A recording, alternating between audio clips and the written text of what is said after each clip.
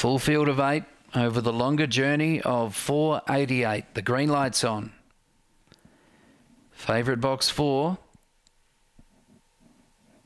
Racing now. Away swiftly, Camino. Punching up Indigo Ruby's going to lead. Zipping Wilbur's across to second at 50 to 1. Camino landed third. Then Leclerc. The others all squeezed out. Zach's Thunder, Cupid's Dream, Homer's Odyssey, and Daryl keeping. But Indigo Ruby's been well backed and she's looking really good. Out by five, Leclerc, Zipping Wilbur, then Cupid's Dream. It's all Indigo Ruby. Leclerc's up for second, but Indigo Ruby by two and a half. Leclerc, Zipping Wilbur, fourth Homer's Odyssey. Then came Cupid's Dream, Daryl Keeping, Zach's Thunder, Camino, 27.50.